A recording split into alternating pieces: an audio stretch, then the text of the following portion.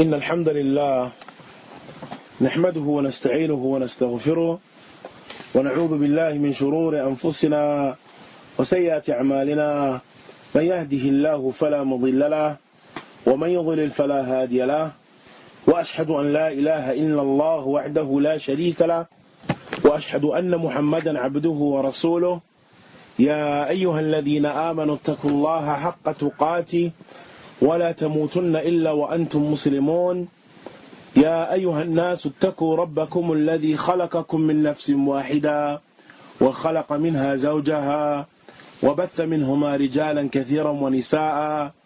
واتقوا الله الذي تساءلون به والأرحام. إن الله كان عليكم رقيبا. يا أيها الذين آمنوا اتقوا الله وقولوا قولا سديدا.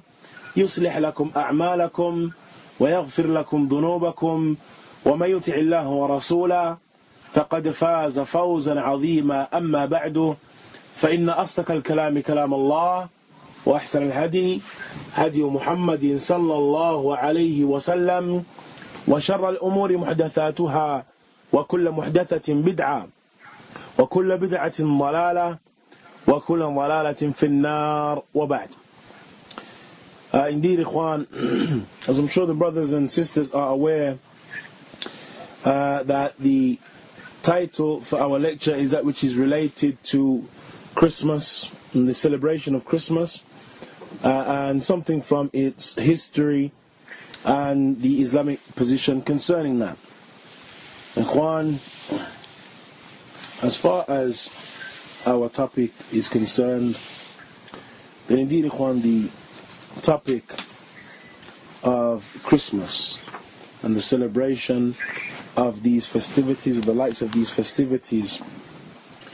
Uh, in order for us to understand the topic, first and foremost, it is first and most that we understand one or two of the principles related to the affair of celebrating uh, festivities or joining in festivities generally. Generally, Ikhwan, there are a number of narrations uh, and a number of ahadith that indicate that the origin, Ikhwan, in relation to the celebration of a festivity that is not present within the deen of Al-Islam is at the asl concerning the festivities of the non-Muslims is it is impermissible, ikhwan, for us to resemble them and to and to join in with those festivities and with those celebrations. And that is on the basis of the statement of the Messenger of Allah Man tashabbaha biqawmin fahuwa minhum. Whosoever resembles the people, then he is from them. Uh, and our scholars have mentioned that the affair of resemblance is not that we have to be different to the kuffar in every single affair and to the non-Muslims in every single affair. Rather, it is that which is specific to the yani, to the festivities and those things that are specific to them. Uh, those things that are specific to them, rites, rituals, that which is, uh, or that those things that are held sacred, that return back to their religion and so on. Then these um, practices, it is impermissible, ikhwan, for us to resemble them uh, upon that. The Messenger of Allah, he mentioned, as we said, من تشبه بقوم فهو منهم. And concerning that hadith, whomsoever resembles a people, then he is from them. Concerning the hadith, the Messenger uh, in this hadith, ikhwan, established a principle for the Muslimun. Imam al-Manawi, he mentions, وقيل المعنى من تشبه بالصالحين فهو من أتباعهم يكرم كما يكرمون أو يكرم كما يكرمون. ومن تشبه بالفساق يهان ويظل يعني كهم. وما وضع عليه علامة الشرف أكرم. وإن لم يتحقق شرفه. He mentions that some of the scholars they hold that the meaning of this hadith whosoever resembles a people then he is from them that it carries the meaning that whosoever resembles the salihun whomsoever resembles the righteous then he is from their followers and he is ennobled as they were ennobled. And whosoever resembles the fusaq, yani the evildoers and the wrongdoers, then he will be humiliated like them. And whosoever places uh, upon himself alamat al-sharaf, yani the, or adorns himself with the signs of nobility, then he is ennobled. Uh, even if he does not reach uh, full nobility or the nobility of the one that he, he follows. But he still reaches and achieves something from nobility on the basis of his attempting to emulate people of nobility. Likewise, we have the statement of an Imam al-San'ani who mentions والحديث دال على أن من تشبه بالفساق كان منهم أو بالكفار أو بالمبتدعة في أي شيء مما يختصون به من ملبوس أو مركوب أو هيئة That is that he mentions that the hadith is indicative and it indicates uh, that the one who resembles the fusaq, yani the evildoers, that he is from them, or with the kuffar, or with the mubtadi'ah, the people of innovation, in any of the things that are specific to them. And it is this, brothers and sisters, that we need to reflect upon, for it is the uh, yani the the asl and the origin in regards to this principle. That is his his statement. في أي شيء مما يختصون به min malbusin aw markubin aw hay'a. That is, whoever resembles them in anything that is specific to them. And th- that, brothers and sisters, is the operative word. In anything that is specific to them. From uh, their malbus, from garment, from uh, markub, from the things that they, uh, or you know, from their riding beasts, you know, specific riding beasts that they may ride for special on special occasions, for example, uh, or uh, any during certain festivities or what have you. Oh, or the uh, the outer form that they have يعني the outer uh, uh the adornments and what have you. Similarly we have the statement of Sheikh al-Islam ibn Taymiyyah rahimahullah ta'ala. Sheikh al-Islam mentioned in his book اقتضاء صراط المستقيم uh, in volume 1 page 237 هذا الحديث أقل أحواله أن يقتدي تحريم التشبيه التشبه بأهل الكتاب وإن كان ظاهره يقتدي كفر, كفر المتشبه بهم that he mentions that this hadith the least that could be can be said concerning concerning it is that it it necessitates that it is impermissible and haram to resemble the people of the book وإن كان ظاهره يقتدي كفر المتشبه بهم even if he outwardly holds that that, that uh, they are upon kufr and so generally ikhwan the principle is that in regards to customs, customary practices, beliefs, those things that are specific to them, then it is not permissible for us to resemble them upon that. But know that there are certain things that we're all going to be united upon.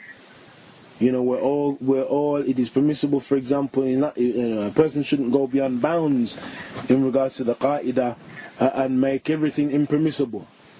That we cannot now uh, drive Fords because kuffar drive Fords. La, that's not it, that is not the intent. Or we cannot eat cornflakes because the kuffar eat cornflakes. Ikhwan, the qa'idah should be understood in its correct light, and that is in those things that are specific to them. Those things that are specific to them, and that, as we mentioned, ordinarily revolves around their customary practices. Imam al-Manawi, he mentions والتشبه يقع في الأمور القلبية من الاعتقادات والإرادات ويقع في الأمور الخارجية الظاهرة من العبادات والعادات. He said that this resemblance occurs in regards to the affairs of the heart from the i'tiqadat, and from the belief and from the intents. And it likewise occurs in the outer affairs from the acts of worship that one carries out and from some of the customary practices that one carries out and some of the customary practices that one carries out. And it should be understood, Ikhwan, that it is not just uh, the kuffar that there is this uh, affair of or the prohibition against resembling them in regards to that which is specific to them.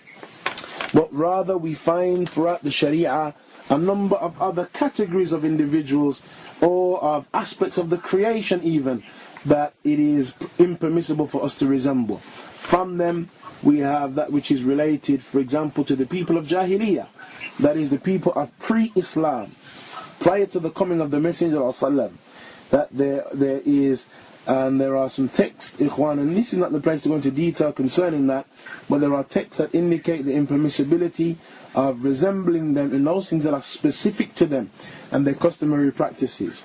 Likewise, the shaitan. That there are a number of texts that indicate the impermissibility of resembling the shaitan. يعني لا تأكلوا بالشمال فإن الشيطان يأكل بالشمال don't eat with your left because verily the shaitan eats with his left. Don't wear one, one shoe or one slipper uh, or one sock as many of Ahlul Ilm hold uh, because indeed the shaitan wears one slipper. And other than that from the text that uh, revolve around not doing and carrying out those things that are specific to the shaitan and to, to uh, the, uh, the way of the shaitan. Likewise, it is impermissible for us to resemble the mubtadi'ah, the people of innovation. And that is something, ikhwan, that we find uh, particularly in the statements of our Salaf and in the statements of the Sahaba, Ridwan Allahi alayhim. So those things that have now become specific signs of the mubtadi'ah, then uh, they are no doubt avoided by the people of Sunnah. For example, the wearing of a turban, no doubt, was something that was done by the Messenger of Allah.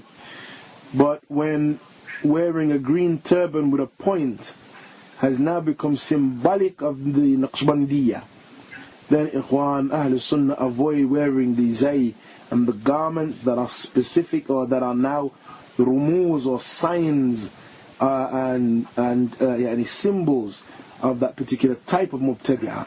Similarly, Ikhwan, there is a prohibition against us resembling, or in, in the text, in the nusus of the Kitab and the Sunnah, there are texts that indicate the impermissibility of, of resembling the fusaq, any evildoers, wrongdoers, and that a person, ikhwan, stays away from resembling the path uh, and the yani, tariq of the fusaq, and that a person is not uh, branded or labeled among them. From the things that the scholars of hadith, Ikhwan used to mention in relation to the adala of, or the, uh, the, uh, the characteristic of uprightness that is part of a narrator being trustworthy, is that they say that he should be free of the, the major sins and likewise that he should be free of the khawarim al-muru'ah that he should be free ikhwan of يعني committing and carrying out major sins and the khawarim al-muru'ah. The khawarim al-muru'ah are those things which are not necessarily haram, but people of nobility, people of knowledge and so on, so forth, they would not carry out those actions. Yani they are actions that are carried out by the fusaq and by the people of yani, or this by people but sinful people. And so ikhwan, when a particular type of garment is worn ordinarily by the sinful people, then the people of nobility avoid wearing that type of garment. When uh, a particular practice is carried out by the people of uh, fisk and, and, and sin, then those practices are avoided by the people of sunnah. And that is, ikhwan, so that the believer is distinct in regards to his character, in regards to his practice, in regards to his adat, in regards to his morals and ethics. He's distinct. Uh, and he doesn't resemble those individuals that Allah Azza wa Jal may be displeased with something from their practices. Likewise, ikhwan, even haywanat, even from the animals, there are animals that we have, or there are ahadith that indicate the impermissibility of resembling certain animals. Allah subhanahu the Messenger of Allah had prohibited us, for example, from making sujood and going down on one's forearms as dogs go down. And going down on one's forearms as dogs go down. And there are many ikhwan examples of uh, yani the, the uh, impermissibility of resembling particular animals when one carries out certain practices. And on the basis of that, we find some of the fatwa from and the verdicts from our scholars around women growing long nails. Not only does it oppose uh, the uh, the uh, hadith of the fitra that the Messenger placed a period of 40 days for cutting the nails. And that the nails are not allowed to grow for longer than 40 day, a 40 day period, but likewise that it resembles uh, yani, uh, animals that have yani, uh, claws or that have that type of uh, or long nails that um, yani, are specific to those animals and should not, or that human beings should not resemble them in regards to uh, growing their nails in that manner or in that fashion. So this affair of tashbih and avoiding resembling uh, these categories of individual uh, is something that we find, brothers and sisters, repeating itself throughout uh, the Sharia and repeating itself uh, uh, throughout the text of the Kitab and the Sunnah when, when one analyzes the texts that are specific to this affair of resemblance generally. And so, when that is the case, Ikhwan, uh, uh, when it is the case that we have a number of ahadith and texts prohibiting that, I'll bring you back before we enter into our topic to the statement of Imam al-Manawi uh, that Imam al-Manawi mentions that this tashbih and this resemblance it occurs in the affairs of the heart the umur al-qalbiyah, the affairs related to the heart from the i'tiqadat, from the beliefs and from intents. And that is that a person carries out a particular action, and though the action may be a, reg- a normal action, when his intent was to do that which was to carry out, or that his intent was in line with the intent of the kuffar, specifically when they carry out a particular action, so though the action may be customary as far as he's concerned, when he when he carries it out in that manner, with that intent, then he resembles the kuffar, and that indicates then that that affair, ikhwan, the affair of resemblance, doesn't necessitate that the action itself has to be a an action that they specifically carry out. But the action may be adi, the action may be a regular action. But when the intent is to fall in line with one of their intents, that an intent that is specific to them, then uh, that ikhwan is uh, and falls around or re- returns back to the affair of tashbih. For example, a person may be walking uh, on the or walking on or walking on the pavement, and as he before he places his step or his foot, he moves it slightly to the right. Now the action in and of itself is a regular action. He places his foot down, prior to putting his foot down, he places it, he moves it to the right and places it in a particular place. But when we inquire concerning his intention, we find that he intended to move it slightly to the left because he didn't want to step on a crack in the pavement because stepping on cracks is bad luck. Now the irada or the intent now, though the action was a regular action, the intent uh, is an intent that falls in line with a specific belief of theirs uh, that is, it is impermissible for us to believe in or for us to follow them upon. Likewise, another person walking walking upon the street, he walks uh, as he proceeds and comes out of a shop, for example.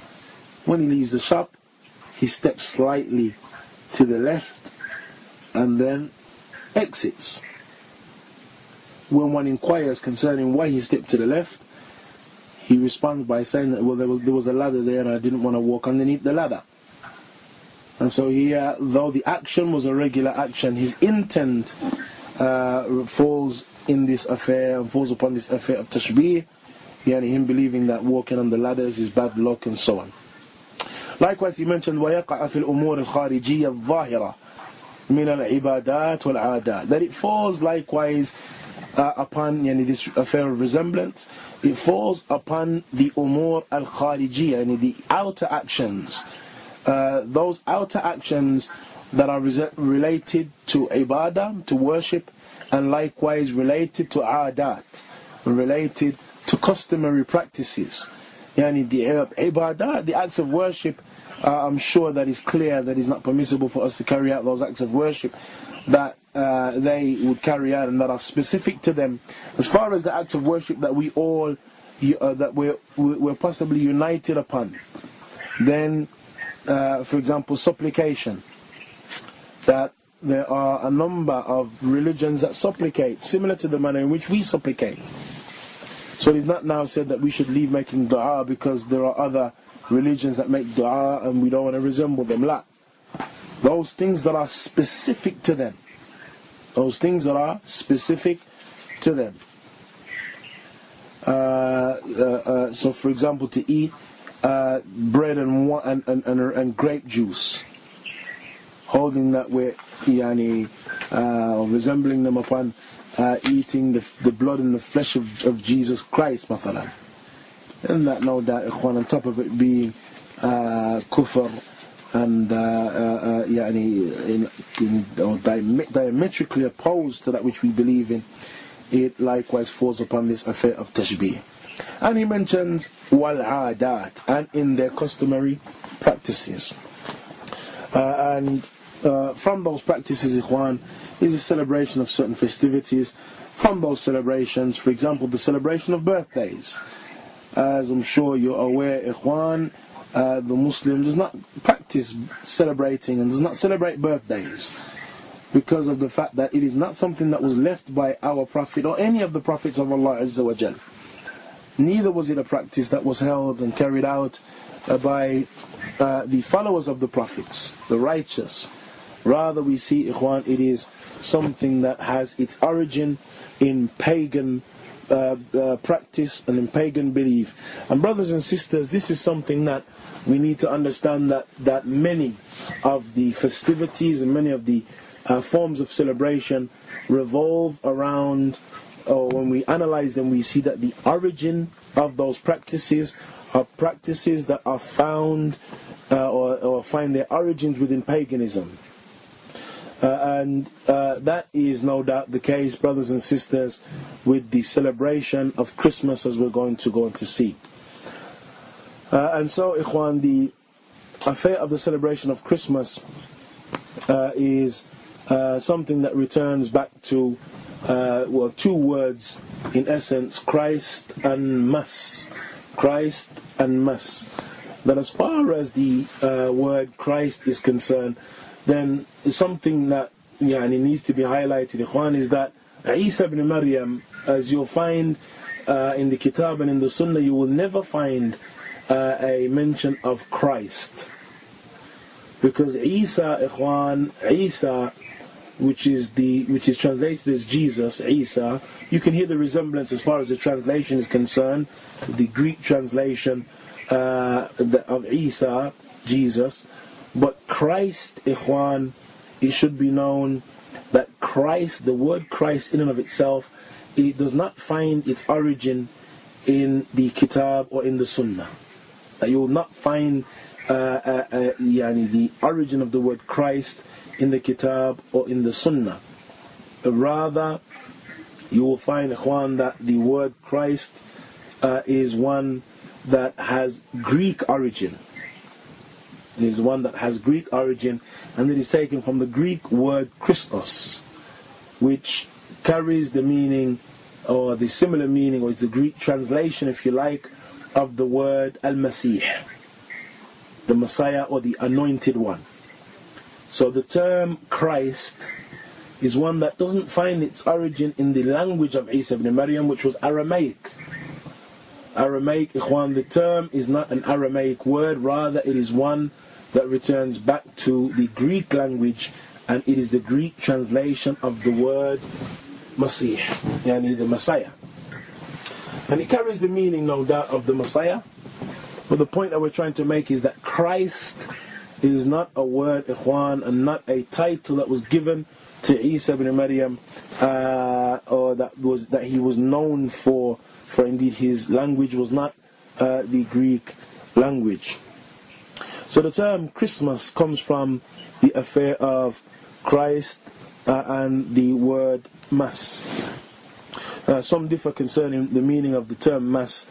Some hold that it actually means death, that it's a word that carries the meaning uh, of death. Uh, so the term then, Ikhwan, Christmas, uh, is one that does not find its origin, as we mentioned, in the original language that was spoken by Isa ibn Maryam, just as uh, many of the terms that we find being used for Jesus do not find uh, his or do not find its origin in the language of Isa ibn Maryam. Uh, and the term that we often t- uh, t- uh, times hear being used concerning Isa is that in the Bible, uh, Christians refer to Isa as Emmanuel. And you'll find that being present in a lot of Christmas hymns, that they'll use the word Emmanuel. And it should be known, Ikhwan, that the term Emmanuel is one that is used to mean God with us. And so when it is said, and when we're speaking about the celebration of Christmas, we're speaking first and foremost about a term that does not return back to the language of, of Isa ibn Maryam himself. And likewise, we're speaking about a belief that returns back to not only the celebration of what they claim or what they say is the birth of the Son of, of God and the Son of Allah, billah, but it is likewise the celebration of the birth of God Himself. And brothers and sisters, that statement, without doubt, I'm sure, Ikhwan, uh, I don't have to explain to you the tremendous nature and the severity of the statement. That we should believe that our Creator, our Lord, our Sustainer, Allah subhanahu wa ta'ala, Al-Alim, Al-Aziz, that He was given birth to. Allah Azza wa Jal mentions, Takadu samawat, that indeed the heavens are close to splitting and being cleft asunder. وتنشق الأرض and the earth is close to being split and the mountains are close to shattering that they should attribute to Allah a son. So not only do we have the attribution of a son to Allah and the claim that this is the day that we celebrate the birth of the son of Allah Azza wa Jal, but they say, and may Allah Azza wa Jal be far removed, ikhwan, from that which they say and that which they claim, that this is likewise a celebration of the birth of Emmanuel, the birth of God with us.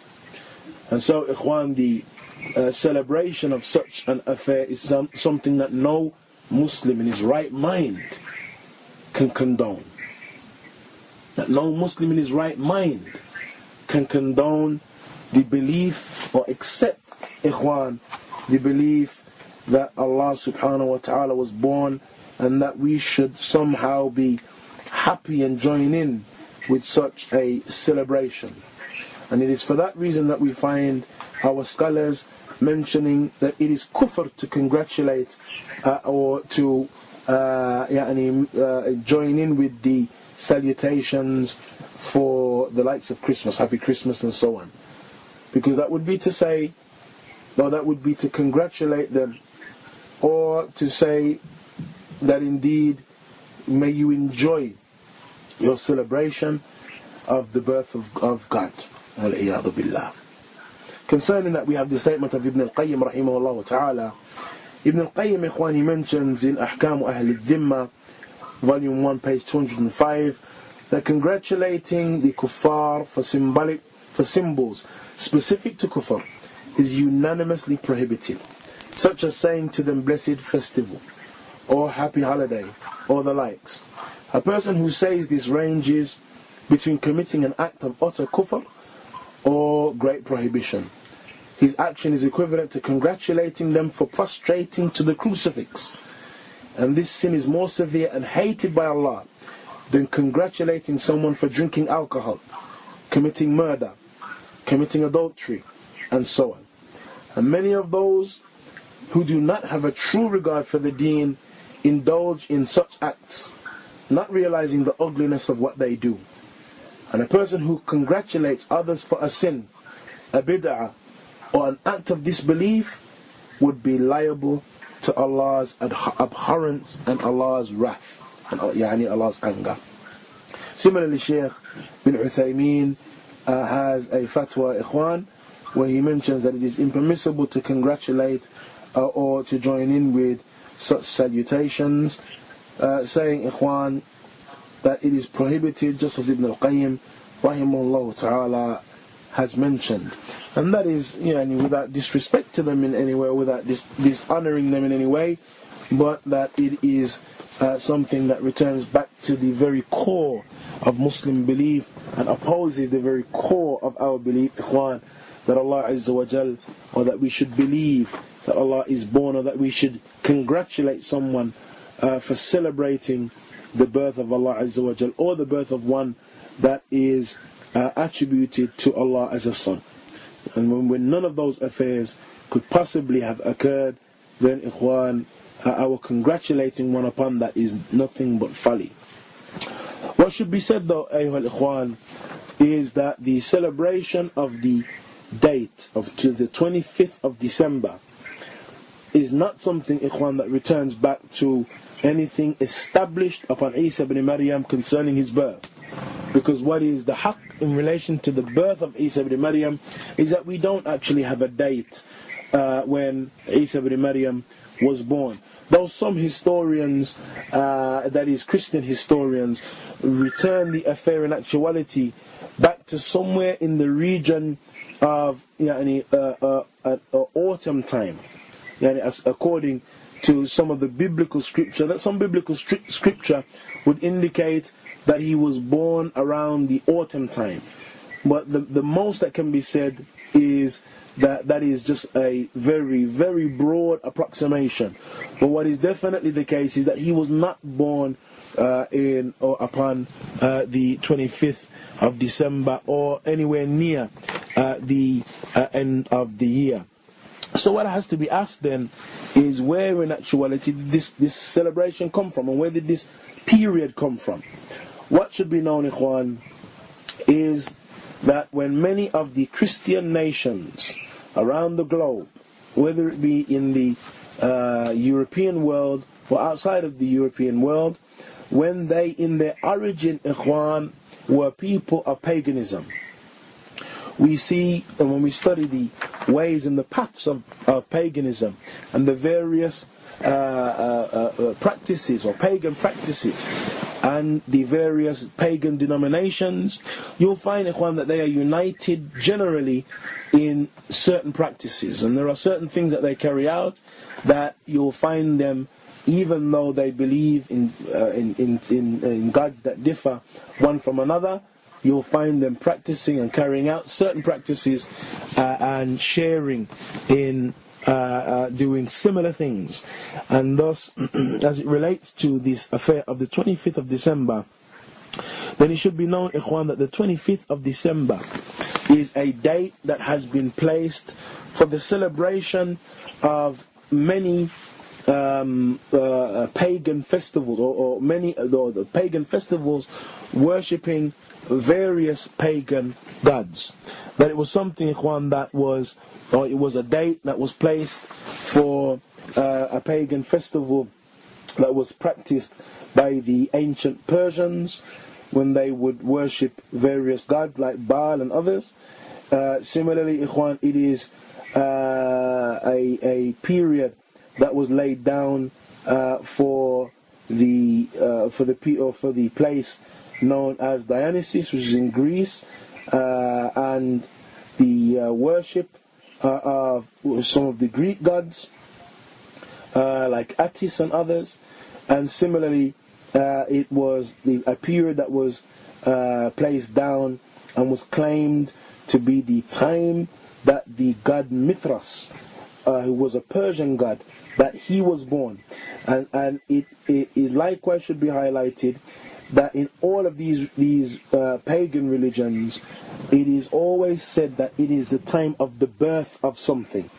this period of the 25th was a well known date that was used to, to signify the birth uh, of whether it be their gods or uh, whether it be uh, in the ancient Roman festival, uh, which was known as Saturn, uh, uh, Saturn, Saturnalia. Saturnalia, Ikhwan, was a, a pagan Roman festival. During Saturnalia, they used to carry out wild acts of debauchery. This um, uh, practice was something that took place at the exact same time, Ikhwan, the 25th of December.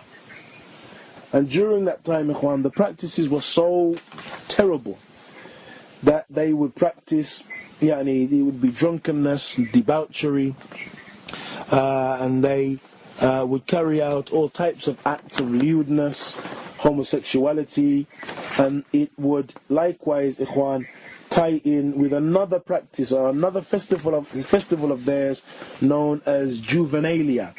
And during Juvenalia, children used to drink and get drunk and likewise uh, join in with the sexual malpractice of the adults uh, while they were in a drunken state. Yani the children themselves uh, would join join in that uh, because of the fact that this this uh, festivity known as Juvenalia would tie in with uh, Saturnalia, which was in honor of their god, their pagan god Saturn. And so that would begin, Ikhwan, from the middle of December, this festivity, Saturnalia. It would begin from the middle of December and it will conti- would continue until the 1st of January, ordinarily. And on the 25th of December, they would say that the 25th was the birth of the unconquerable sun. Because what they would say was that the days which got shorter and shorter the, the further down into the winter we got. And then from the 25th of December and, the, and that which was that which comes after it, they used to believe the days began to get longer. And so they would say that that then is the time or the beginning of the time that the sun would regain its dominance. And so during this period of the sun regaining its dominance, uh, they would say uh, on the 25th of December, bivapt or bidhat, precisely, precisely, they would say that the uh, 25th was the day that the unconquerable sun was born again. That is, it began to regain its, its dominance, and the days would continue to get longer and longer from the 25th of December uh, and that which comes after that. And so, Ikhwan, they would celebrate that as the birth of the unconquerable sun or the unconquered sun, uh, and it was a practice that continued uh, up until up until the coming, Ikhwan, of Isa ibn Maryam. And after Isa ibn Maryam, uh, when because Ikhwan, Isa ibn Maryam did not come uh, and he was not sent for all and sundry. Isa ibn Maryam was sent for the Yahud. And he was, uh, as occurs in the Bible and likewise occurs in the Quran. But even biblically, we have uh, a statement that they, you know, every Christian will accept that I was not sent except to the lost sheep of the tribe of Israel, or of the children of Israel. That I was not sent except to the lost sheep of the children of Israel. And Allah Azza wa Jal mentioned in the Quran ورسولا إلى بني إسرائيل أني قد جئت قد جئتكم بآية من ربكم and I was sent as a messenger to Bani Israel and I have come to you with signs from my Lord and so Isa ibn Maryam was not sent ikhwan to all and sundry rather he was sent specifically to Bani Israel which is the difference between or one of the differences between Isa ibn Maryam and our Messenger Muhammad وسلم, that the Messenger والسلام, was sent to all of mankind and likewise to the ins and the jinn. To mankind and the jinn. While Isa ibn Maryam Ikhwan was sent to Bani Israel. He was sent to Bani Israel uh, and uh, him being sent to Bani Israel Ikhwan indicates that he was not for the Gentiles or not for the non-Jews. but after uh, somewhere in the region of uh, 60 or 70 AD with the coming of Paul. When Paul, who was a Jew, who was originally named, who was originally known as Saul, who claimed while he was traveling to Damascus that he saw Isa ibn Maryam in a dream after being a man that used to kill Christians and used to kill the followers of Isa. He saw, he claimed he saw Isa ibn Maryam in a dream, in a vision, and that Isa commanded him to be uh, a Christian and that he commanded him with a number of rulings that were not in the Injil.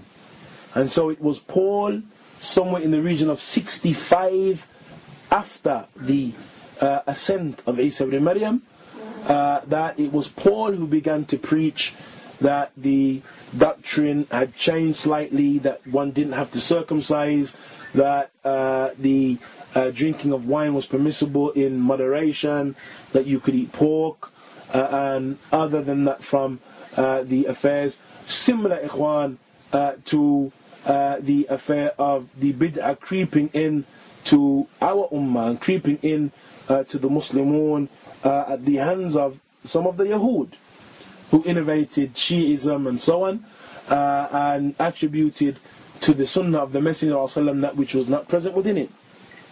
But the point is, Ikhwan, that Saul was from those who began to claim that non-Jews could now become Christian. Even though Isa was sent to the Yahud. Now, Paul began to claim that non-Jews could now become Christian. It was after that that non-Jews began to take on board Christianity and began to follow Christianity on the basis of this this new opening that Paul claimed was given to him by way of this vision that he saw of Jesus that allowed him now to call to the Jew and the Gentile. And so there and after Ikhwan we saw uh, that non-Jews began to enter into the fold uh, of, or began to follow or become followers of Isa ibn Maryam, uh, and the uh, spectrum was broadened as it relates to those who uh, began to follow Isa ibn Maryam. And what was seen was that, that was there was a large number of non-Jews who had entered into Christianity. Those non-Jews, Ikhwan, came with a number of practices. And that initially, Ikhwan, those practices, Christian priests and heads of Christendom tried their utmost to nullify and to uh, abolish the practice and the uh, uh, celebration of certain of their pagan festivities. From them, the pagan celebration of Saturnalia. But regardless of their attempts, they were unable to stop the spread and the practice of the celebration of Saturnalia, even among those people who had become Christian. And so, what the high priest of Christendom saw was that instead of trying to abolish Saturnalia, and instead of trying to do away with it in completion as, as it was a pagan custom, they saw that it would make more sense because we were trying hard to get them to stop it to no avail.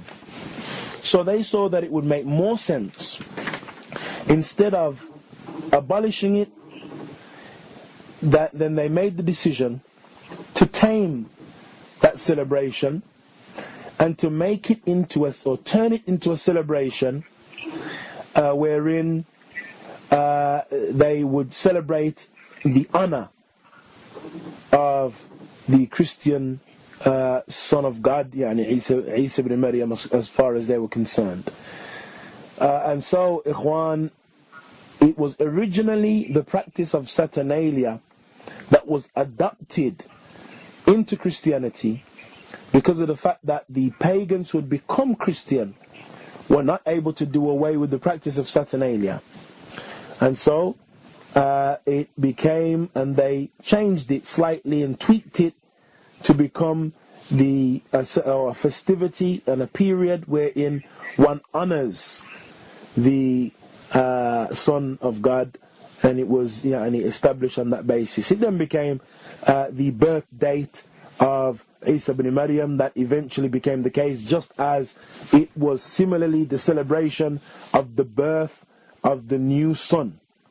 And uh, just as it was a celebration of the birth of other pagan gods among other peoples. So it seemed good then uh, uh, for it to be deemed the birthday of the uh, Son of God, billah, as far as they were concerned, uh, and it then became the celebration of the birth of Isa, uh, Jesus, the son of Mary. And thus, ikhwan, the 25th of December began to be celebrated with practices that likewise came from their pagan, uh, the, their original pagan practices. And so, just as during the Roman times they would practice homosexuality and cross dressing and yani, debauchery. Even slaves didn't have to work, and slaves were free to have sexual relations with whomsoever they chose.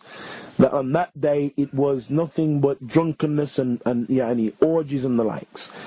And during those periods, Ikhwan, uh, and because of the fact that they were acquainted with that during Saturnalia, some of that was adopted into the practice of Christianity, though it was toned down, but it was adopted into the practice uh, of uh, Christianity. And so the Celtic pagans, for example, when they would practice Christianity during uh, the same period, uh, they saw, Ikhwan, that there were certain plants that they would use during these practices of debauchery and, and uh, lewdness. They would use certain plants that they held to be symbols of fertility. And so, for example, uh, they would use holly, mistletoe, and these were plants that were seen by the pagan Celtics of, of the British Isles uh, to be uh, symbols of fertility, and so they continued to use that. And so this custom of kissing under the mistletoe uh, during Christmas uh, was one ikhwan that revolved around this pagan custom uh, and this pagan festivity that was filled with sexual, yani, sexual malpractice and what have you, but it was toned down. And in our time, yani, now we have kissing under the mistletoe, but it's still uh, that kissing, uh, as I'm sure you're all aware, develops into more than just kissing. But the uh, origin of the practice was uh, that it was a practice among the pagans who were present on the British Isles because prior to Christianity coming to England, uh, um, I believe somewhere in the region of about 55 BC, uh, that uh, the uh, British Isles were filled with pagans. We had various types of pagans, uh, many of them being Celtic pagans living on these shores. And to the, to the extent that uh, Caesar, the Caesar, when they sent armies uh, to the shores, they found, Ikhwan, that when the Roman armies came to the shores of Britain, that they were met by the shores being lined, or the yani, the British shores being lined with uh, rows and ranks of druids. And druids, ikhwan, were yani, were wizard type characters that used to daub their faces with a blue paint, and they would uh, have long disheveled hair and wear long gowns, and the women and the men they would carry out certain practices, yani returning back to sorcery uh, and magic. And the in, in one of the diaries of one of the sea, the Caesar that came to the shore, that he said that verily, and that was Julius Caesar, that he said verily when our armies came to the shore, they were met by druids, the women of which began to scream and wave and shake their hair and their heads frantically and the men began to gesture as though supplicating. And the armies, the Roman armies, prior to actually arriving at the shores, began to find themselves having wounds and cuts and lacerations. Wounds and cuts and lacerations on the basis of this uh, sorcery that was being carried out by uh, the Druids, the pagan Druids that they found when they came to the shores of Britain. And so these Celtic Druids, Ikhwan, from their beliefs was that there were certain plants like mistletoe uh, certain plants like holly that were symbols of fertility, pagan symbols of fertility that they would put and decorate over their homes, over their altars. And so this was likewise incorporated into the uh, practice uh, of Christianity. That this was incorporated into the practice of Christianity, of uh, uh Christmas, of one. Uh, likewise, Ikhwan, from the things that were incorporated into the celebration uh, of Christmas was uh, the burning of the Yule log. And the Yule log, Ikhwan, was again returned, it used to return back to this pagan practice uh, of the worship and the veneration of vegetation uh, and of fire. It returned back to the worship and the veneration of certain types of vegetation and of fire.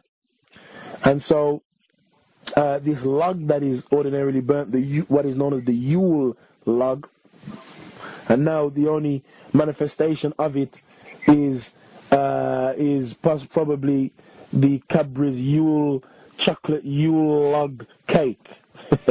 Uh, other than that, Ikhwan, we don't really hear much about the Yule log, but it was a practice that was uh, carried out during Christmas that the um, the, uh, uh the, the those who used to celebrate Christmas would burn a, a, a log, and that was known as the Yule Tide log.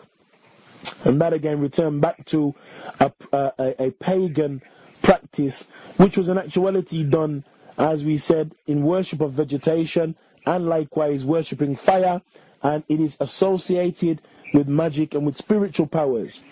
Similarly, Ikhwan, from the affairs that are related, that were incorporated from this paganism, is uh, the uh, belief uh, in or in that which is uh, related one to the utilization, or uh, rather a practice that is the affair of drunken, drunk, drunkenness and alcoholism during uh, the celebration.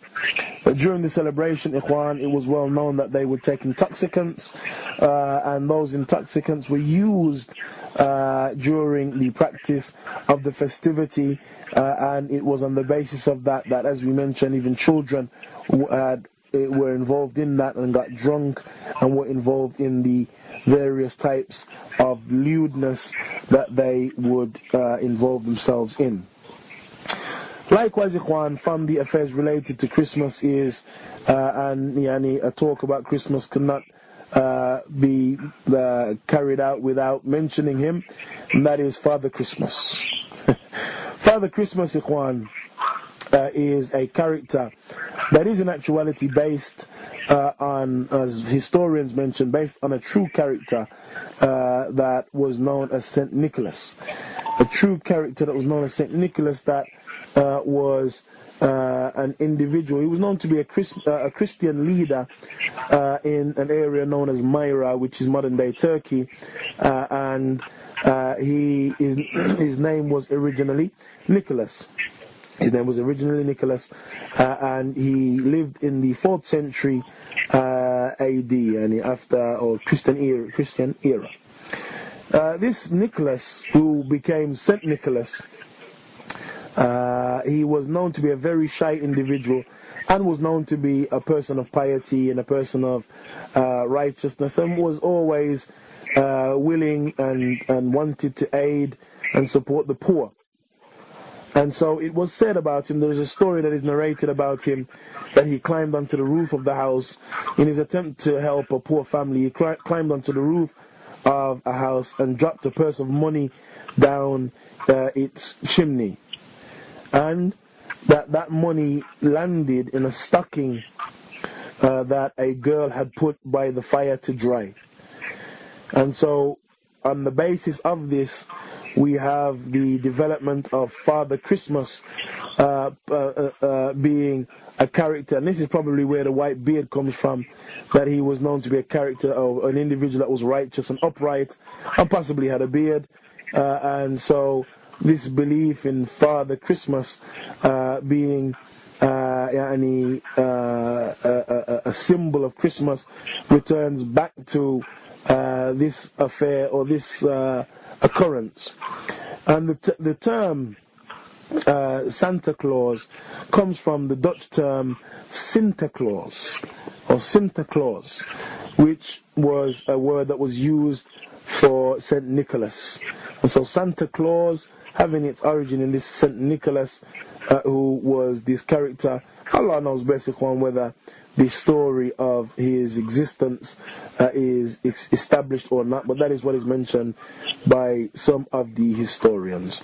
Similarly, from the affairs related to Christmas is that which follows Christmas Day, and that is uh, the uh, uh, following year, the 26th of December, which is known as Boxing Day.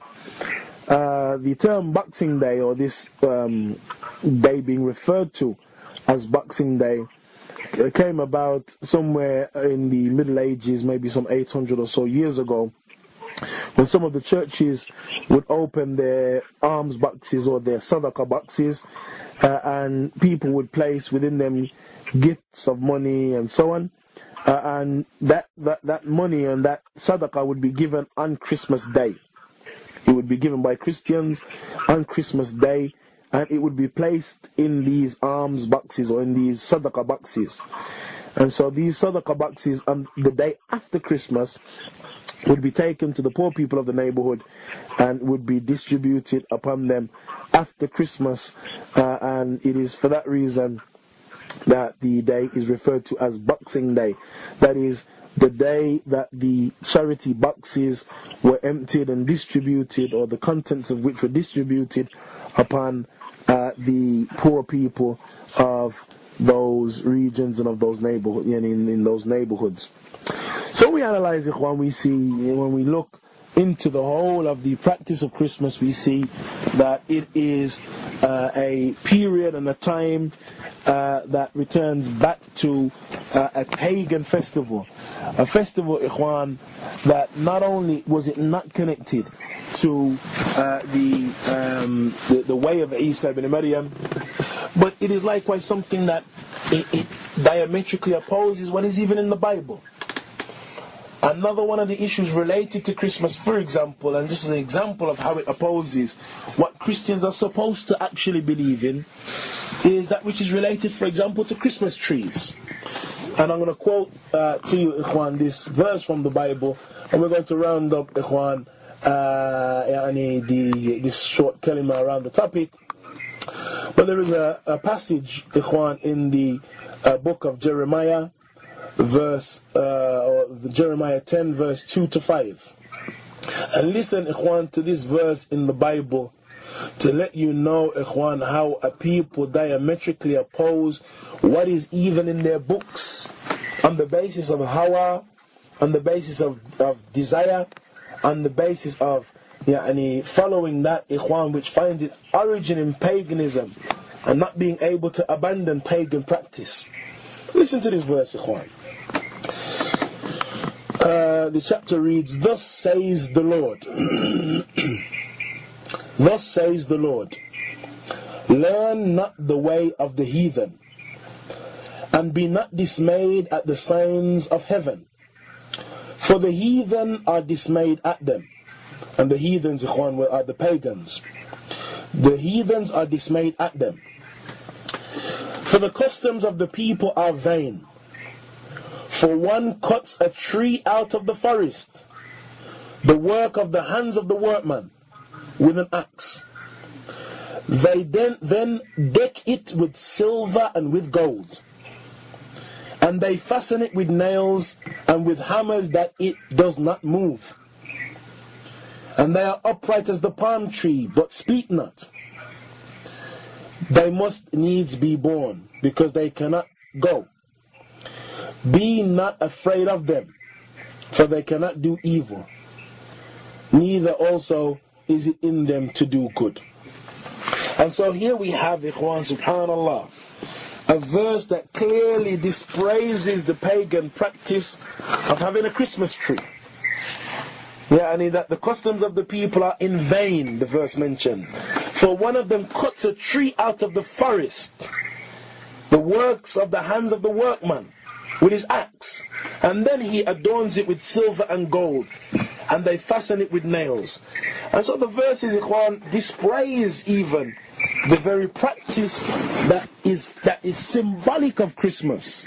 We find the Bible itself is diametrically opposed to such practices. so, Ikhwan, uh, with that being said, we say then, Ikhwan, Alhamdulillah, Allah subhanahu wa ta'ala has blessed uh, the Muslimun with basira and with nur min Allah subhanahu wa ta'ala. Allah Azza wa Jal has mentioned, اليوم أكملت لكم دينكم وأتممت عليكم نعمتي ورضيت لكم الإسلام دينا On this day have I perfected for you your religion and I've completed my favors upon you and I have chosen for you Islam as your religion. Islam. A deed, ikhwan, that is kamil, complete. And we have no need, ikhwan, to incorporate or adopt the pagan practices of any uh, يعني, group uh, of individual. Likewise, we have the statement of Allah Azza wa Jal. ومن يبتغي غير الإسلام دينا فلن يقبل منه وهو في الآخرة من الخاسرين and whosoever seeks a deen other than Islam then it will not be accepted from him. And he in the hereafter he will be from among the losers. So we ask Allah subhanahu wa ta'ala to grant us the insight and the foresight to see and to understand that Allah has blessed us ikhwan with khair and with nobility with nur ala nur with light upon light. And it is nothing except for us to turn to it to study it to understand it to make ittiba' of it and to ask Allah subhanahu wa ta'ala that He causes us to die upon it. نسأل الله سبحانه وتعالى يوفقنا وإياكم لما يحبه ويرضاه. وصلى الله وسلم وبارك على نبينا محمد. وآخر دعوانا أن الحمد لله رب العالمين.